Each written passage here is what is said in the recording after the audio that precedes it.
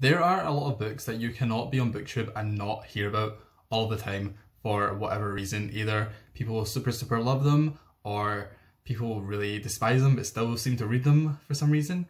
And I have compiled a list of these books that are super popular, you hear about all the time on booktube, but I am just personally not interested in reading. So today I'm going to talk about that list. If you enjoyed this video, please leave a like, please subscribe, and let's just get started. The first popular book that I personally don't want to read is Nevernight by Jay Kristoff. So I have said this before, but the cover for this book reminds me of like a Hot Topic poster. It's so cringe to me. I don't know why. I just hate it. And I feel like that's really unpopular opinion, but I hate the cover. Also, assassin skills just like don't interest me. Again, it just sounds like so edgy and like it's trying too hard to be cool. I have no idea why, I can't really explain it, but just the idea of an assassin skill just does not interest me.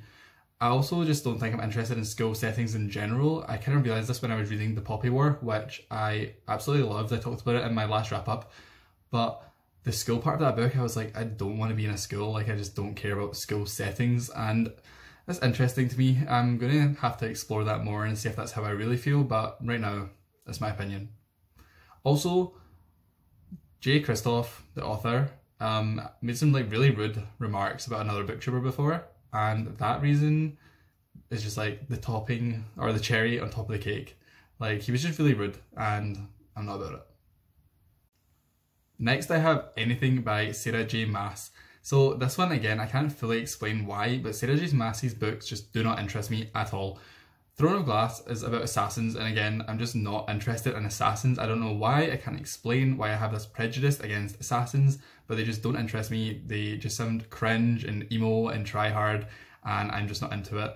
The Court of Thorns and Roses books, again, I can't really explain why I'm not interested, other than the fact that I've heard about them so many times, and all I took away from hearing about them so much is that they are retellings, which I don't really care for, and they're about fairies, which again I don't really care about. I have read The Cruel Prince by Holly Black, and that was enough fairy action for me.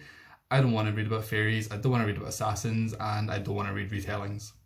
Next, I have The Grishaverse by Leigh Bardugo. So, my group chat, a group of my friends were reading these together every single month, and they made them sound so bad.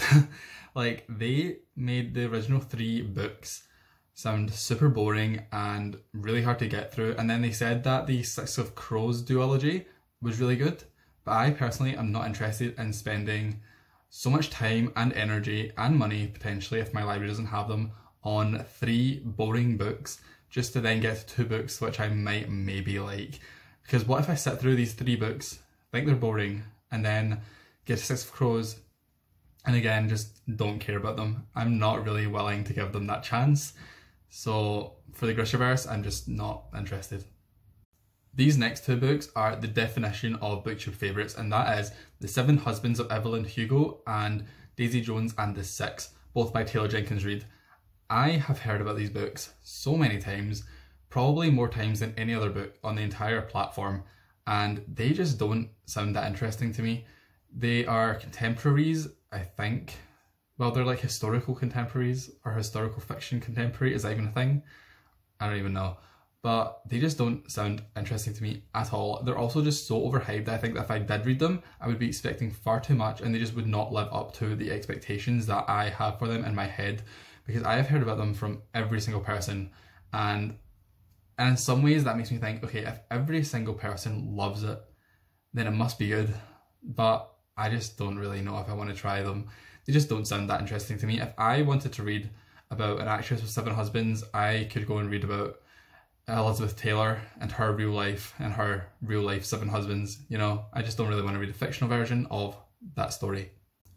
This next one again is literally the definition of booktube favourite, and that is Red, White and Royal Blue by Casey McQuiston. And again, I've heard about this from every single person on this entire website, but my thing is that I just don't want to read a gay romance written by a woman. It does not interest me. I'm not interested in gay romances anyway. Again, it's a contemporary. I'm not interested in contemporaries. It's political. I don't care about politics. So I just, overall, I'm not interested in a story. The one thing I've heard about it is it's like a fluffy, cute romance, a fluffy, cute story. I don't care about fluffy, cute stories.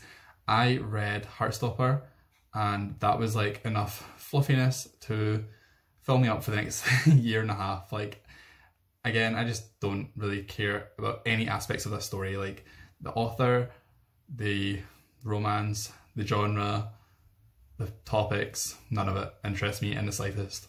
I have Scythe by Neal Shusterman, and this one honestly does interest me, but I've heard so many bad things about the third book in this trilogy that I do not want to put in the emotional investment into the first book to then end up hating the later books in the series or just the third one. I've heard the second one is just as good as the first, and I've heard the third one completely ruins the entire series.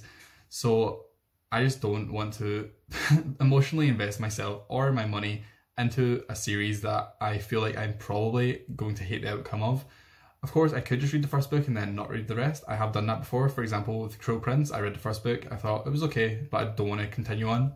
But I just feel like it's pointless, to be honest. It's just pointless to get invested in these characters, in this world, in this story, and then abandon it. Especially if I do really enjoy it. And then I'm just like knowing I'm going into the third one with like bad prejudices. So, for all the reasons I have just stated, these are the booktube favourites I personally have no interest in reading. If you also are not interested in these books, let me know. Please validate my feelings in the comments. And if you want to try and convince me to read these books, you can try. But to be honest, my mind is pretty set on what books I'm going to read and what books I'm not going to read. willing to maybe change my mind, but probably not, to be honest. Um, if you enjoyed this video, please leave a like, please subscribe, and again, let me know your thoughts down below, and I will see you in my next video.